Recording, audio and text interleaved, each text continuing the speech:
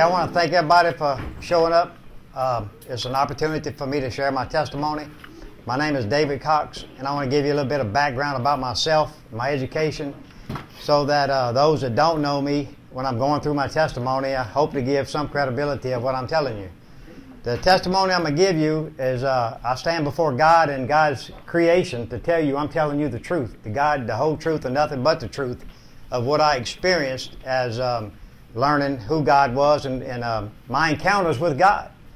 So um, the um, my background a little bit is um, I do have a, a, a, high school diploma. I have two degrees. Um, I'm a certified welding inspector. I uh, site superintendent, construction inspector. So I have I have some education. Um, I, I, might not sound like it all the time, but I do. So to, just to give you a little background with myself, also, my pastor here is uh, Jimmy Babin in uh, New Life Worship Center in New Roads. Uh, one of my favorite teachers as a teacher in the Gospel of, of Jesus is uh, Chuck Missler and also uh, Ken Johnson.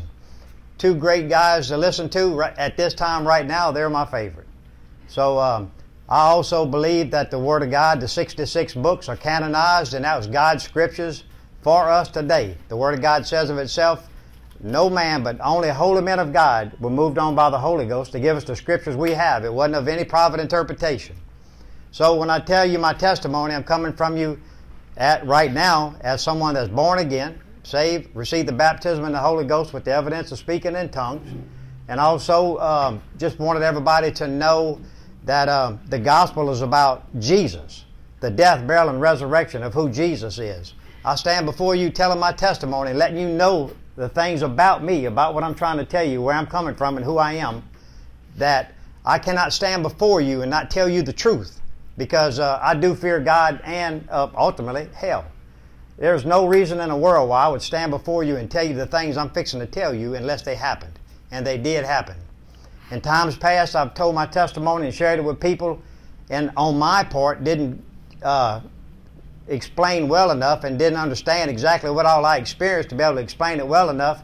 And I know it's probably been discredited by several pastors by thinking, oh, that don't happen, that can't happen.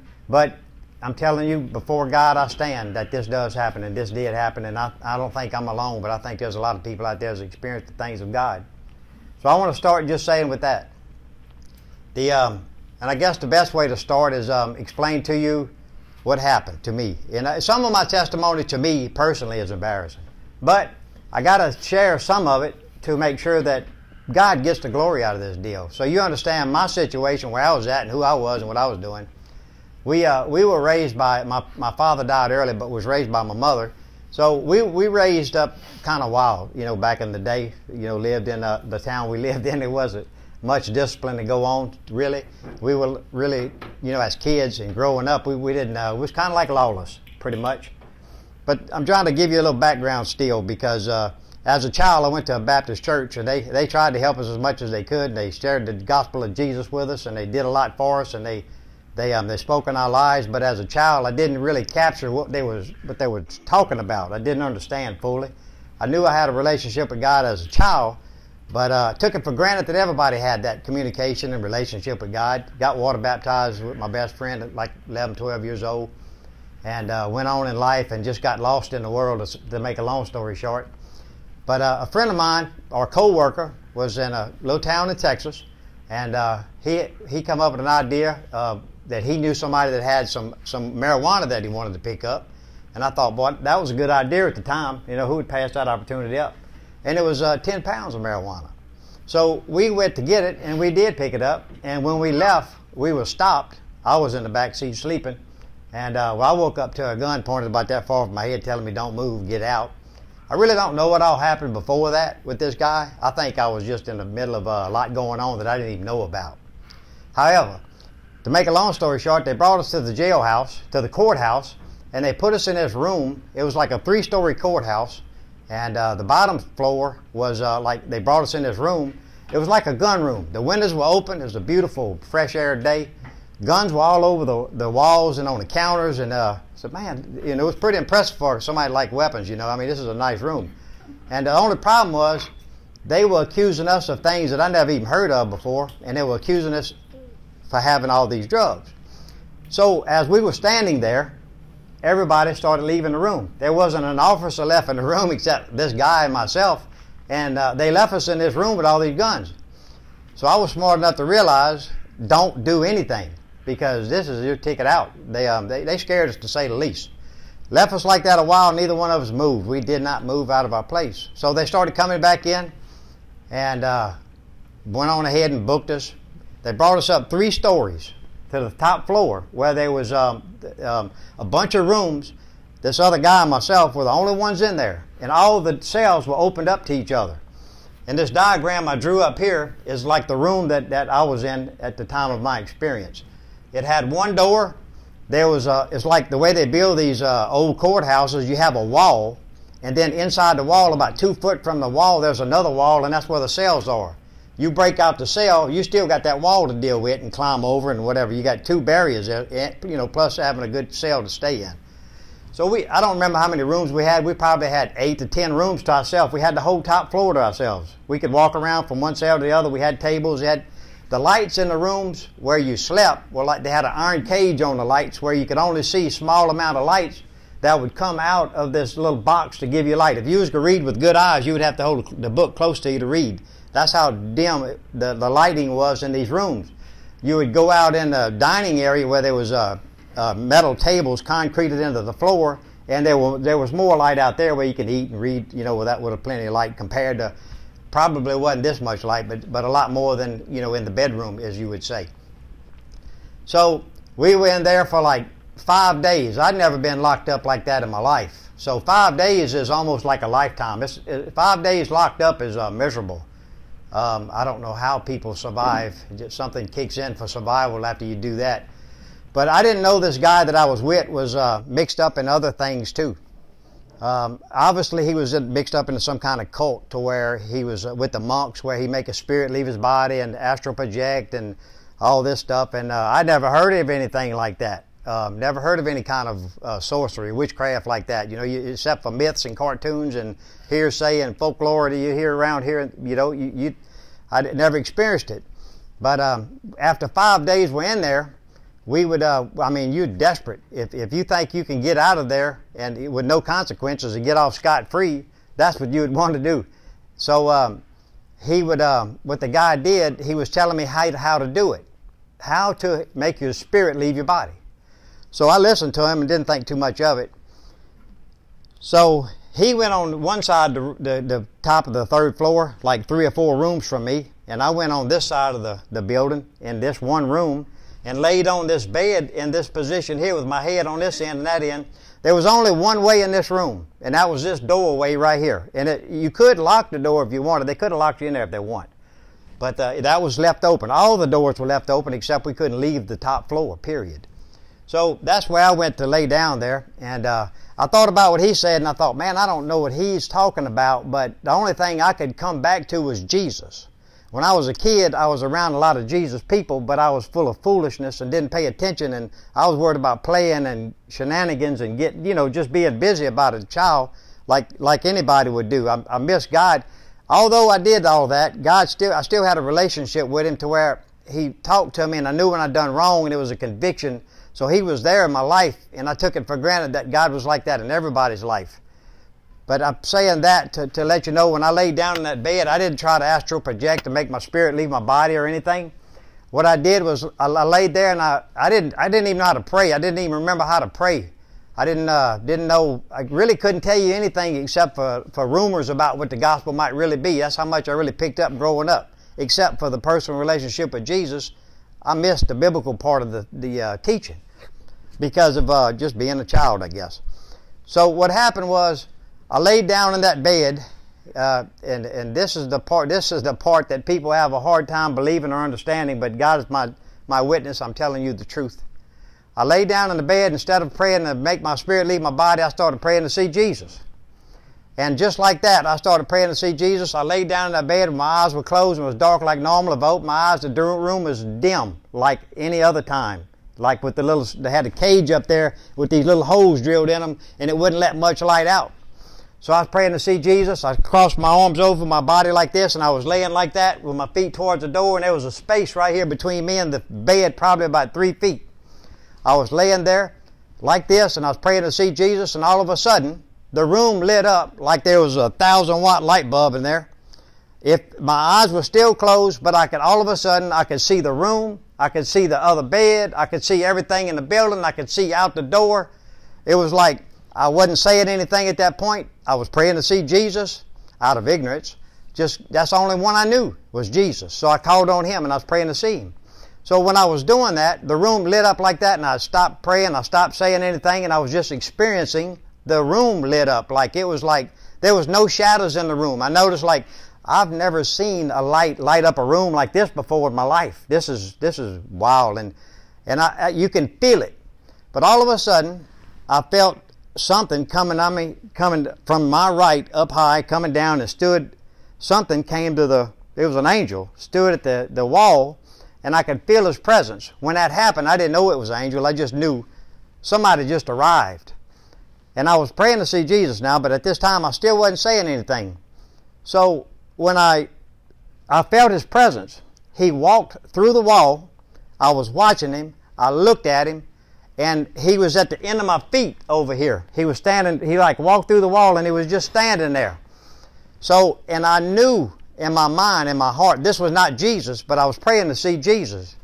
But he was angelic. He was, he was an angel. I guess the biggest thing that shocked me about seeing him was he was the same color of the room as you, if you would, white and I used to say he didn't have clothes on, but what I what I'm saying is he, he wasn't nude. He had this. He was clothed with this white. He didn't have clothes like we talk about. He didn't have clothes like we wear. He was clothed in the same whatever that light was that he had on him somehow. And when I saw him, he was like seven or eight foot tall. He was he stood the room, and I was looking at him, and I was like blown away to say the least. And I'm thinking, you know, I realizing what he what he, what he, what kind of person he was or what he is. And when I was looking at him, he was looking at me, and the face he had was like, "I don't need you." And if if I could read a face, that's what he was telling me. I don't I don't need you.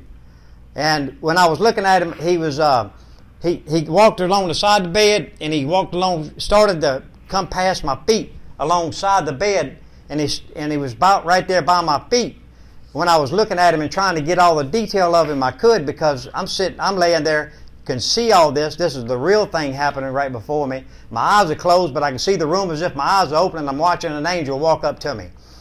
And when I was looking at him, the, and this is the part that throws a lot of preachers and Christians off when I tell them this angel did have, he was mounted. He did have wings.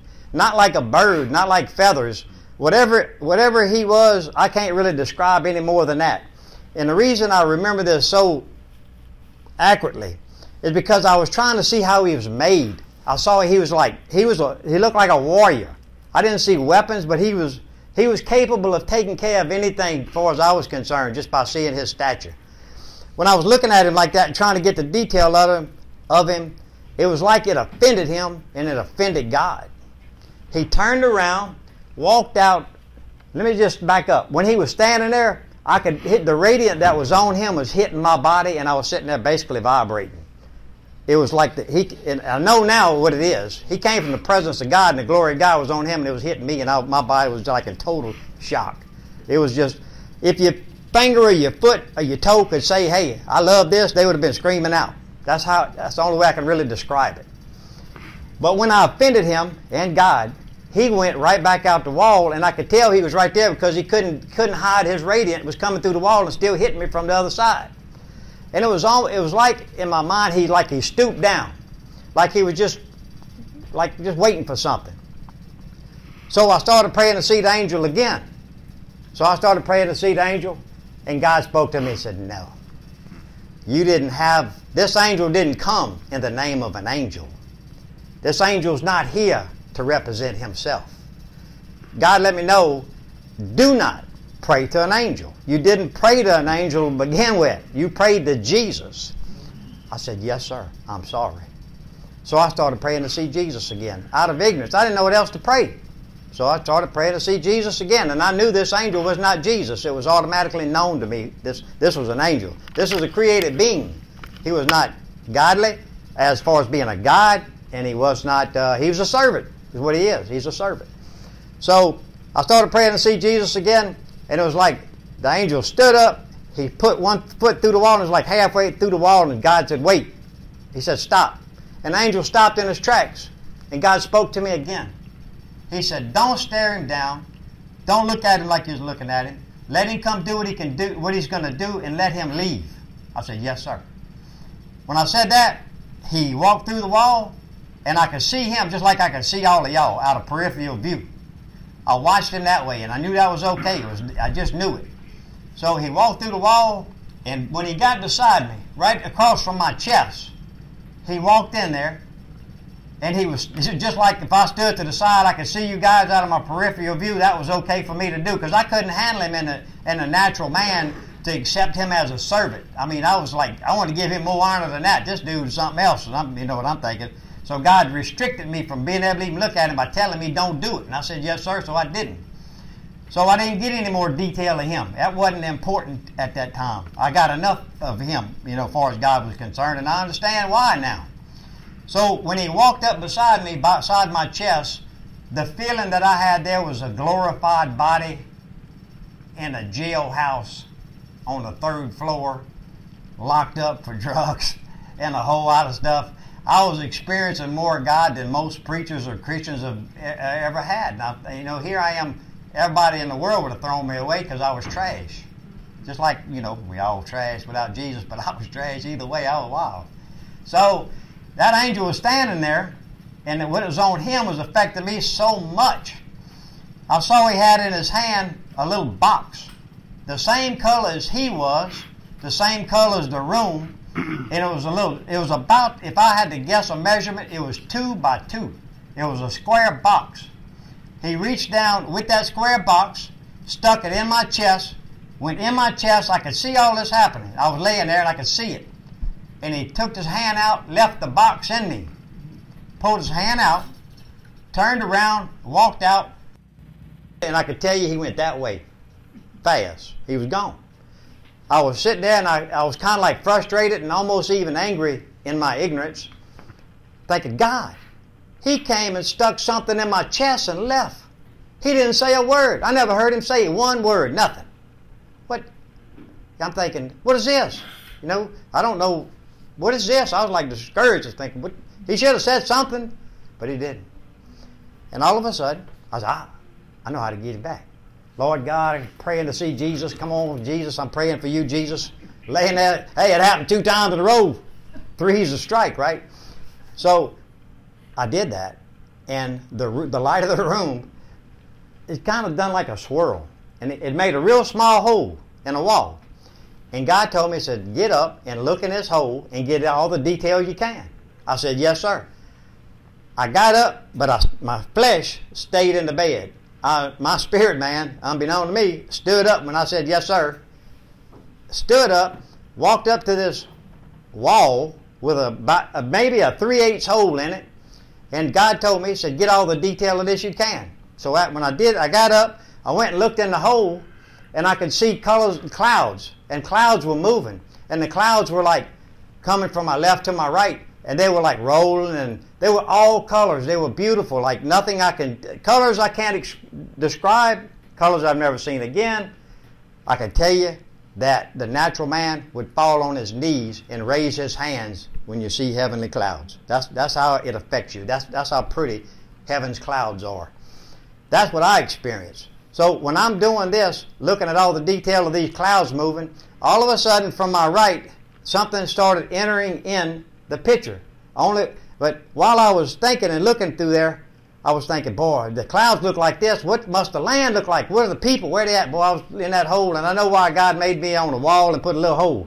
Because I'm about to pop my eyeballs out trying to see other things besides what was in that hole.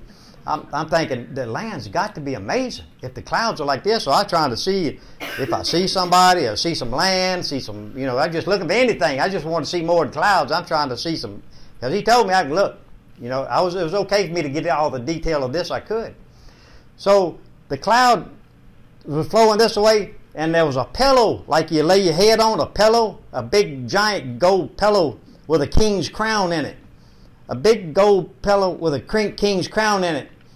And, and as it started floating in the picture across that little hole where I could see it, God said, get all the detail of it you can. So I was looking at it, it had writing on it. I couldn't tell you what it said, nothing on it. Probably Hebrew, you know, knowing what I know now. It's, it, there's no telling heavenly language. It might have been my crown, who knows? I don't know. But I was looking at it, getting all the detail of this crown that I could.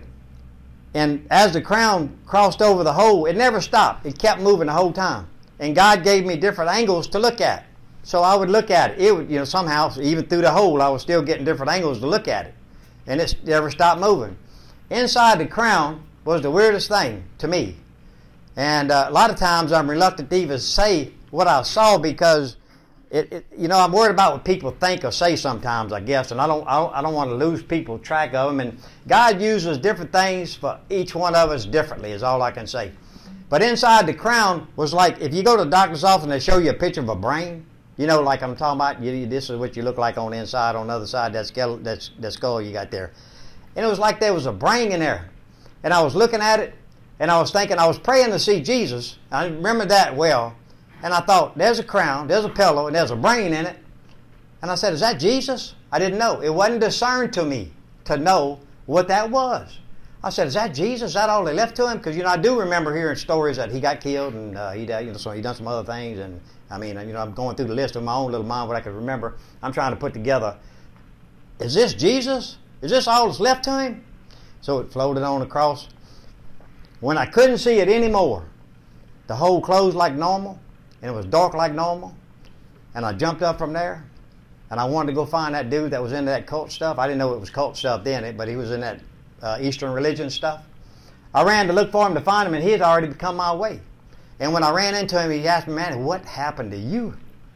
He was like blown away. He said, "You white as a ghost, dude." I said, "Wait, there's more. Let me tell you why." So I told him why. And here you are sitting in jail thinking, did that really just happen? Then the human human brain starts kicking in and start denying. And I think, no, no, I know what just happened, man. I'm telling you. I'm telling you what just happened. This is undeniable. I jumped up from there, told him what happened. Uh, like a day later, a preacher showed up. They wouldn't let him in there because we were too dangerous, you know what I mean? So, so a preacher, we looking through this little hole, and I said, hey, man, let me tell you what happened. Little preacher couldn't relate to me. He, he probably was a good little guy. I don't even remember. He might, might have been the God sent best little preacher in the world. Who knows? But because he couldn't answer to anything I told him, I blew him off. So man, you see you later, Gator. So he left. Two days later, we got out after being locked up for seven days, and God is my witness. Got locked up and set free, and this ain't even on my record. There was a lot of stuff going on I didn't know about. Thank you, Jesus for being locked up in a gun room and wanting to kill me and all that stuff. You think back and think, Jesus, for all these crooked things. And I believe in supporting the law, God, country, everything. I, you know, but uh, it's nice when you when you God sees you mess ups and He knows you can have a clean slate and He wants to clean your slate up to where you can function in life and do and be later on. But after that experience, we got out of there seven days later, and here I go scot free, never quit anything I was doing. In fact, probably enjoyed it more. I got away with this one. That, and I would tell this story every now and then, but it wasn't like I would tell it often because people would think you crazy.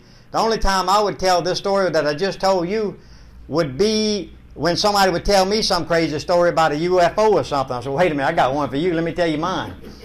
So I didn't understand mine like I understand it now.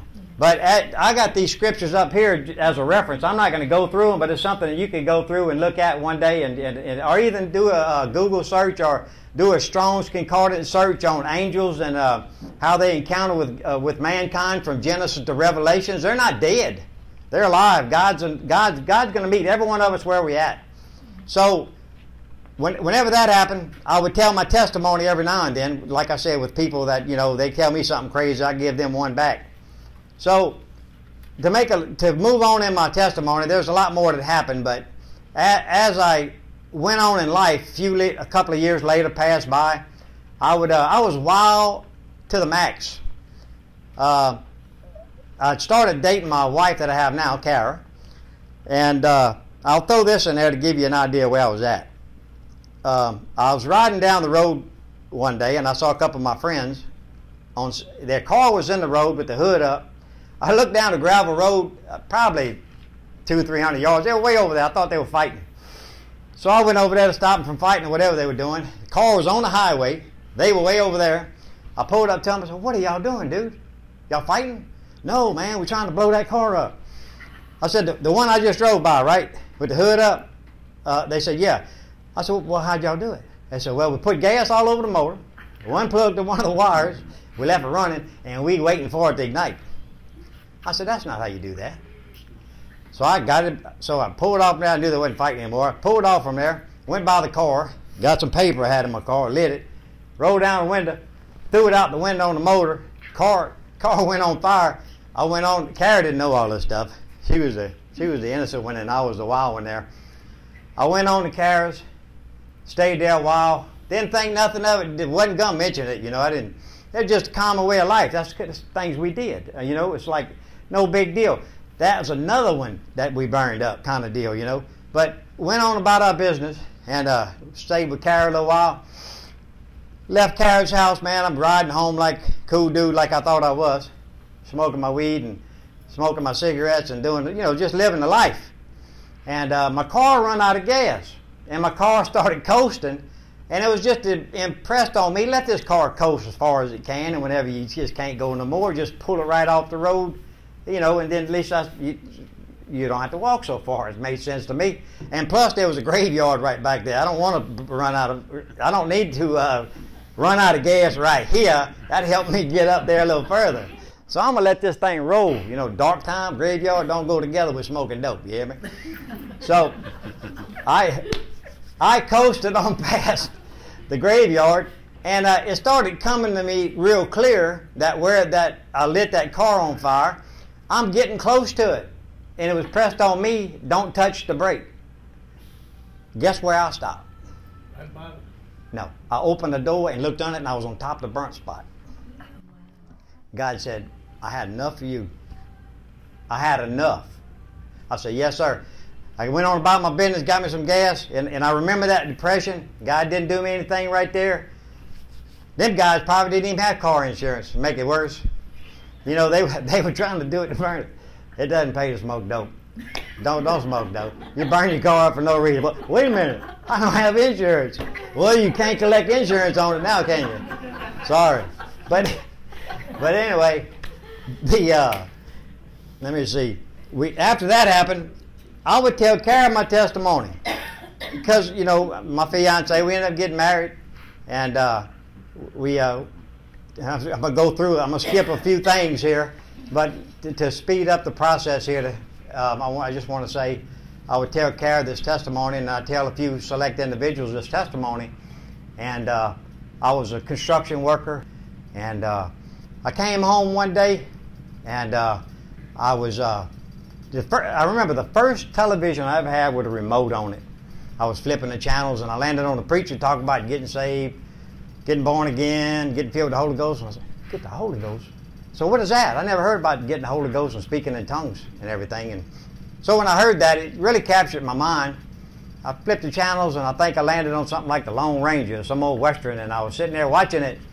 And I thought, you know, if, if this guy's right about all this, my recollection back way back when when I used to go to church as a kid, I never heard any of that. I, I would like to know what that's about. And I didn't know it then, but God was started drawing me at that point.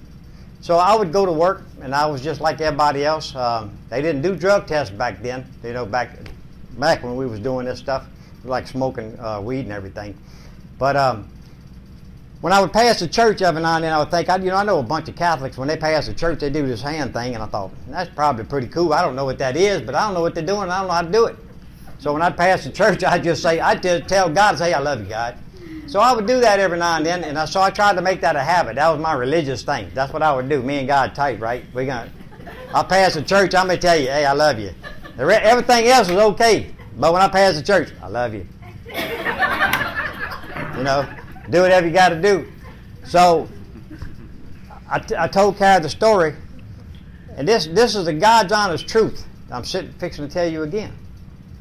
I was sitting there And I told God, I said, I couldn't live for you if I wanted to. And God said, Why not? I said, Because we got a problem. I smoke weed, I love it. I smoke cigarettes, I love it. Everything I do, I like. But even if I wanted to quit, I can't. I smoke two packs of cigarettes on a good day, and if I go out drinking and partying, I bet you I drink, smoke five, six packs of cigarettes. Easy. And in my mind, now if, if somebody here smokes, don't take this as an offense or anybody smokes because God beats everybody different. So I'm thinking, God said, I told him, I said, I couldn't live for you if I wanted to because I couldn't quit these things because I thought in order to be a Christian, you couldn't do any of this stuff. In my mind, there's no option. I can't. I can't be a Christian and do these things. Although I know there are Christians that do those things, but they meet God at a different place in a different world. But my world, being I'm a fanatic about things and I see things one way, in order for me to get saved and live for Jesus, I can't do this. It's an absolute. There's no options. That's the way I'm made. Some of us are made like that, some of us are not. You deal with it. Face it, you, you know, God got to meet you where you at. So he had to meet me at a level maybe different than you. Because the only way I could live for God is if he met me there and fixed it. The only way. So I told God I couldn't live for you if I wanted to because of all this. He said, I can take that away from you. I said, Yeah, I bet you could take it away from me. You could kill me. You could give me cancer. You can give me some kind of disease and I'll have to quit. I know you can do it. Ain't no doubt in my mind. I wasn't being ugly to God, but I thought God was the one going around killing people. I thought God was responsible for giving you cancer and sicking you and, and dealing with you like, like all this miserable, sick stuff in the world. I blame God for it. I thought, God, you killed my daddy, you killed this, you did this, you was part of this, you let all this happen. That's all you. God knew what, where I was coming from, and I wasn't being ugly, ugly. I was being honest. What I thought, I didn't know. I was deceived. God told me, He said, I said I couldn't live for you if I wanted to because I like I not only like all these things, I'm hooked on them. He said I can take them away from them from you, and I heard what you said, and I can take it away from you without hurting a hair on your head. I still got a few. Back then I had a lot more. Had a lot of hair. A mess.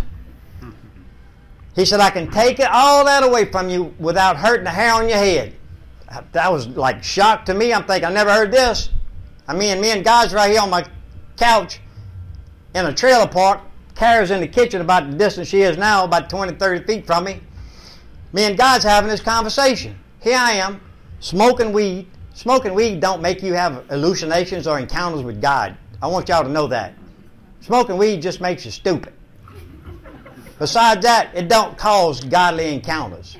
I want to put that out there first because some people are ignorant about marijuana. Marijuana will destroy your life.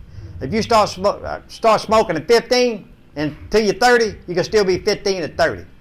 But anyway, I told God, I said, God, I couldn't live for you if I wanted to.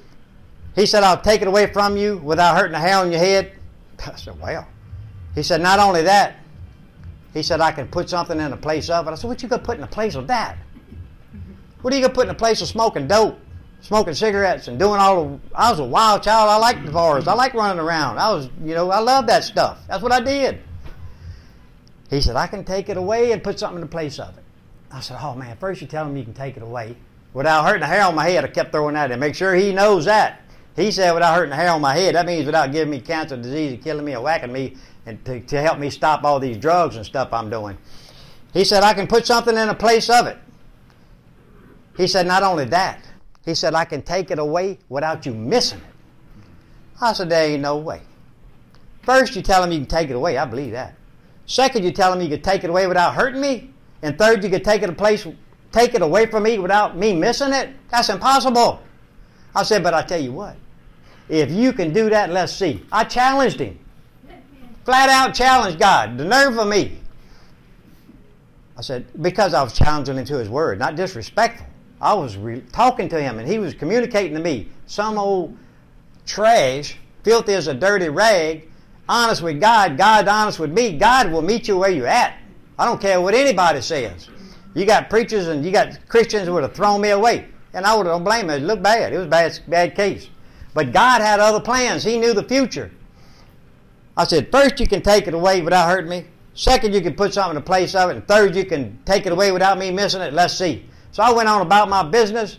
Didn't care, tell Kara anything at that time. This is, a, you know how you. I've I've experienced my life talking to God like that. It wasn't no big deal. You know what I mean?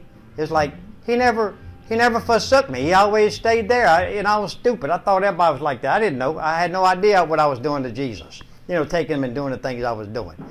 But anyway, when after that happened, I, I went on about my business like me and God never said nothing like usual. I heard what he heard, said. I remember what I said, and I would think about it. And uh, went on about watching TV, went on about work. And uh, I was probably one of the wildest iron workers at work. I was uh, uh, tied rebar and hung iron. You know, we did all kind of stuff out there. But um, after that, it was like a, week or two later, I got invited to go to church. And I told Kara, I said, let's try it.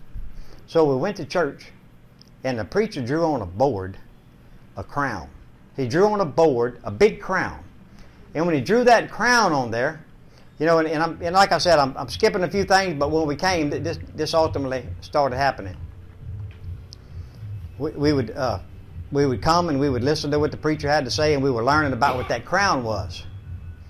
And uh, how when Satan fell, I mean, excuse me, when Adam and Eve fell, they were righteous, but they gave up their righteousness, their crown of righteousness. They had dominion over everything, but when they fell, Satan came with authority. And then, then here we are, we're born in sin. That's where that comes from. We lost our righteousness from birth. When you're born into this world, you're born in unrighteousness, you're born in sin, you, you're safe until the age of accountability, and only God knows where that's at with each person. And then you're born, you have to do something about getting right in order to, to make heaven. So, the um, let me back up just a little bit after the invite to church, I came home one day from work. This is truth. God is my witness. This happened. I have to say that. I came in from work. I had started smoking dope. I was sitting there. Kara was doing something in the kitchen. I was sitting back on my couch watching TV, probably a cowboy show or something. Yeah, I think it was Lone Ranger actually. And uh, I was sitting there, and all of a sudden, a buzzing started happening in my ear like buzz. And I thought the buzzing was in it, was this was in this ear right here. So I'm sitting there thinking this bug is in my ear, trying to get it out. And uh, so I told Kara, I said, "Man, I got a bug or something in my ear. I can't get it out. It's making this buzzing noise in my ear." She said, "Well, she told me a story about a brother having a bug in his ear, and they put some water in his ear to try to flush it out." So I thought, I'm going to try that. that. We got to do something. This thing's buzzing. So we put water in my ear and tried to drown that bug or whatever it was in my ear. I held my breath as long as I could, so I'm thinking whatever's in there can't be holding his breath that long. So pick up my head, try to get the buzz out of my ear, but the buzz don't quit. So Kara's about her business in there doing what she does in the kitchen. and I'm sitting in there dealing with, I'm trying to smoke a joint in peace for one thing. And then this thing, this all this buzz is messing me up. So I, was praying. I would. I, this buzzing was just happening in that ear. So I told Kara. So then the buzzing started sounding like it was in this ear. I said, "Wait a minute. I think we put water in the wrong ear. uh, um, I think I think it's on this side." So we tried to put drown the bug on this side. And I held my head like that long as I could. I held my breath long as I could, thinking, well, this got to drown it this time because I'm going to keep it over a little longer. Pick up my head. I'm thinking that didn't bother it because hey, this might be a water bug. this thing, you, you can't drown this dude. So she went on about her business in the kitchen. So I'm sitting there, I'm thinking, Kara, can you hear this? I mean, at this point, somebody else should be able to hear this thing because it's loud. It's buzzing like crazy. She said, no. I said, well, I'll tell you what. This thing is loud. So I was sitting there, went about her business, and God spoke to me. He said, I know how you can get rid of it. I said, How? He said, Get all that dope you have and go burn it. I said, Yes, sir. He said, Go burn it. I grabbed that dope, went outside, and used to have a big barrel out there to burn this stuff. So I put that dope in the barrel and tried to burn it. It wouldn't burn. Ah. He said, You got something in the house that would help it burn. I had some clothes that wasn't appropriate to wear with certain writings on it and pictures. So I went and got those that stuff, and he brought that to my memory because I wasn't thinking of that stuff. So I went and got that, put it in there, put some gas on it, burned everything.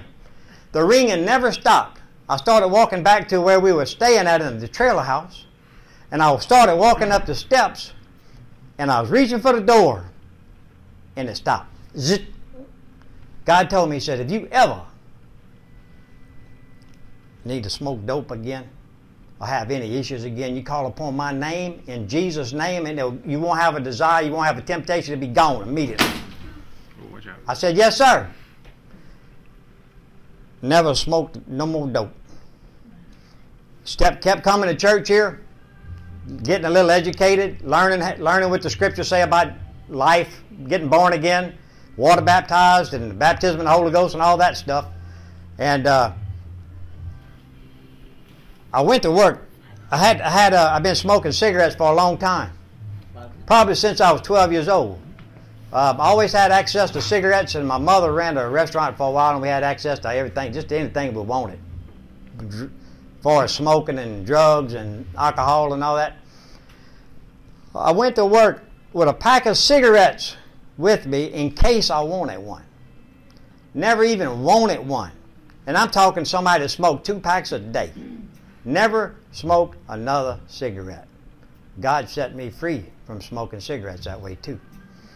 And then as you go and tell your testimony, as you try to share with people what God has done in your life, it sounds like wow, sounds like you know heavy stuff.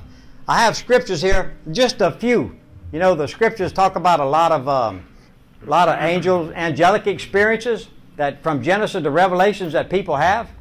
And I know as I run into people and watch on YouTube and other places, people talk about their their experience with God. Some of them are, uh, you know, you got to be sensitive to who you're listening to, perhaps, because but some of them just like like they're wow. But if you have a testimony, if you have an experience with God, it will line up with the Word of God. Everything that I experienced, that crown of righteousness, that that little box. I got one more story I got to share with y'all. God is my witness. This is the truth. I'm telling you the truth of what I'm fixing to tell you. We came here. We received we received the baptism of the Holy Ghost. We learned about the devil, how we we, we have authority over him. We, heard, we learned how we can rebuke him, and we learned how to, to survive as a Christian by just knowing a few things after about three or four months of teaching here, teaching in the Word of God. One day, I was telling Kara, I even told a preacher one time, I said, you know, I tried to, I told him my testimony a little bit real quick about this crown and this box. And, and what he told me was, well, God give it to you, you find out. So I said, you know, I'm going to take that advice. I knew what the crown was because that was, the Bible talks about the crown of life and the crown of righteousness. You have a crown, if you're saved, living for Jesus, you have a crown of life and a crown of righteousness given to you. You have it. You already have it. You already own it. You already been, the Bible said, the Word of God said that salvation is a gift from God. If it's a gift, you can't do anything for it, right? Except Jesus Christ as your Lord and Savior. That's the gift, the crown of righteousness, the crown of life. I knew that, but I did not know what that little white box was that angel stuck in my chest and turned around and left. So I went to my, Kara was uh, in the kitchen again or something. I came in from work. I got on my bed in the, in, the, in this trailer house. They only had one door and it was to my left. The bed was up against the wall over here to the, to the outside. So I started, I just got went in my bedroom and I started praying, Lord God, just, I don't know what this little white box is. You know, I know the devil's pretty slick. He's a deceiver. If this white box is not you, I would ask you to get it out of me. If it's of you, open it or tell me something, or give me, open it or get it out of me or tell me what it is or give me a bone to chew on to satisfy me because I got to know what this is. I don't know what this is. I still don't know what this is, I was telling him. So as I was, I kneeled down and I was on the side of my bed talking like this and praying to God. You know, communicating and talking to God is praying, right? That's what I was doing. All of a sudden, that room lit up just like that jailhouse did that time. A bright light. I mean, there was a sh- no shadows to be found in the room. And for some reason, that angel came from the same direction. He came through the back of the trailer and stood there. He stood there like this with his arms crossed. I didn't stare him down, but I could look at him because I was mature enough to understand who he was and what he was. He was a servant. He was a servant of God. If an angel come to you and he let you worship him, You you have just been introduced to a demonic individual. So I didn't know all that then. But if you have any kind of spiritual encounters and they and they accept worship or praise, you you dealing with the wrong bunch. They they from the wrong side. If an angel, a, a man of God, is not going to accept worship from you. None of them. They're all created beings. Only God alone, Jesus, is who we worship. But that angel walked through the walls, put his arms like that. He looked at me, I looked at him, and he looked across the room, across the, in the far corner of the bedroom where I was standing. And so I kept, he kept doing that two or three times, and so I looked over there. And in that corner was a ball, a sphere. It was like an orb. You know, I used to call it a ball that was in a sphere, and it was contained, and I couldn't tell what it was contained in it. You can't see anything that's, that's making it a sphere, but it was like a cloud was in it, and it, it, was, it was activity in this thing. And I didn't know anything about orbs back then. So I called it the ball, and it was like, and, that, and as it came toward me, it got bigger. And when it got about a foot and a half, two feet away from me, I would look at the angel and I would look at it, and the angel never moved, never uncrossed his arm, just stood there watching. And in that, that out of that sphere, that orb came out of, there's an arm that came out of it, went in my chest, just like that angel's arm and hand did. He put his hand on that white box I could see the box. It was in there. And he had his hand on it. And that, and that thing in that orb said, I'm going to take your righteousness. I'm going to take your gift. And you know, I was already ready to re- rebuke the devil. I learned that much. I can get rid of the devil. So, and I started to say, I rebuke you in the name of Jesus. But them devils, they watching. They know what you're fixing to do. He's trying to get out of Dodge quick. He was pulling his hand out and it was empty. The angel never moved. His arms were still crossed. And I said, uh, and as he pulled his hand out, he know he knew I was saying, no, you're not taking anything. I'm not doing what Adam and Eve did. I'm not giving you anything. God gave that to me. I realized you're not taking it. He pulled his hand out empty, and then I said, I rebuke you in the name of Jesus. I don't know what happened to him, but I can tell you he went in a bunch of different directions at one time, and I never saw that one again. Don't know what happened, but I know he left my presence as fast as he could. The angel never said a word turned around, went through the wall, and I could tell where he went. The room got dark like normal, my eyes closed, and I was, you know, telling these stories. And after I get, you know, started learning what my testimony was and what really happened to me and how God was trying to draw me, you got people, you got thousands of people that saw Jesus and went to hell. I was praying to see Jesus. Praying to see Jesus don't get you into heaven. Accepting Jesus Christ as your Lord and Savior get you to heaven. That's how you see Jesus. You got to receive the crown of life. I was praying to see Jesus. God was showing me for because He knew this day was coming. I will be able to tell people when when you call upon Jesus, you're gonna get to see Jesus, but you get to see Him through the righteousness by living righteous. You will get to see Jesus, but accepting Him as your Lord and Savior is how you get to see Jesus. That's how we're gonna get to stay with Him throughout eternity. I was telling this testimony at my mother's house one day. And I said, you know, I still don't know what that little white box is. Everybody in the room started laughing at me. And, and, it, and, I, and I was just, just didn't get it. A devil told me what it was. He was trying to steal it. My gift of righteousness. Come on. When you get saved, guess what? He used a little two by two box. If that's what a gift of righteousness is, and it's a two by two box in me, you have one too. Because without it, we have we don't have salvation. So my testimony not only lines up with the Word of God, I think the only thing that really throws people that in the ministry, because the Bible don't talk about angels with, say, one set of whatever he had on him. It wasn't like he, it's an angel walking around with wings like this, no. This, when this guy walked in this room and I was looking at all the detail of him I could, I was looking up in here, and that guy had some kind of mount that I would guess would have some kind of connection with wings, but it's not like like we know. It's not like feathers that I saw. It's like whatever those, whatever he is made of, those were too. Whatever that is, that's, that's the only way I can answer that. Um, but I know that in a, in a, years ago when I tried to tell my testimony, I know I've even had pastors tell me, angels don't have wings. Well, you been there? Have you been there a while looking around in heaven? What do you know they have, whether they have wings or not? I know the seraphim and cherubim have wings. I know that all of them that the Bible talked about came to Abraham and walked through at the times of uh, uh, Sodom and Gomorrah, and they didn't have wings mentioned. There's a lot of it. The Bible says we'll have angels amongst us and we won't even know it. You better be careful how you treat people. That ragged old guy, that old, old woman might be an angel in disguise. They, they undoubtedly can, uh, I want to say, transform whatever they need to do or be. That's beyond our understanding. Jesus walked through a wall. He ate. That's God. Jesus is God. Y'all realize that? Jesus is the Son of God. He's God. He is God. He's part of the Trinity. He is God. Jesus is God. Jesus, God cared enough about us to come in this world and do what He did for us to, to, for this to happen. So, and I know this is extraordinary testimony and stuff, and you know, a story to tell. God is my witness. This is the truth. This is what happened to me. The um, after after that encounter with um, with in the trailer house, and I learned what the what, what all my testimony did mean. As I get the Strong's Concordance or any kind of uh, study that I do research on the crown of righteousness, the gift of righteousness, angels, the Bible's full of it. I don't doubt in my mind one bit that some of you guys have some supernatural experiences too. A lot of people get, uh, uh, you know, well, I never had anything happen to me. Well, maybe you wasn't in a place and circumstances didn't cause you to have to have that happen. God is it 2 Peter 3 9 says, God's not slack concerning his promises, but he's in long suffering, willing that none of us would miss him, but all of us would find eternal life in him. That's what, it, in, paraphrasing what it says, but that's what he's saying. His will is that, although I would have been thrown away by everybody that known me, and rightly so, I, I deserved it, as a filthy rag, not living for Jesus. But uh, Jesus, you know, when you're born in this world, you're a filthy rag too.